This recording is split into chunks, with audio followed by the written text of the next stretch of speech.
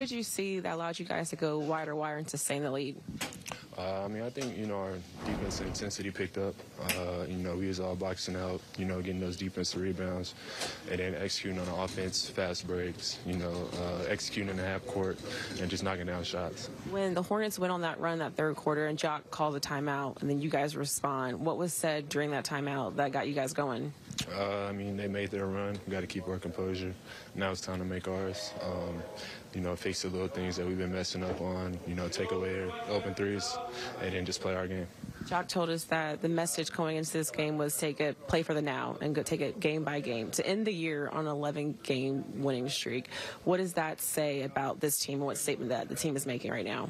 Uh, it means a lot. I mean, taking, like you said, taking it game by game, uh, not looking forward. And I think, you know, just every game coming in with a game plan, executing, everybody playing hard, and, you know, having fun.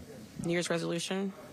Uh, I ain't got there yet. I guess I got a couple more hours for that. So. Got a couple more hours. All right.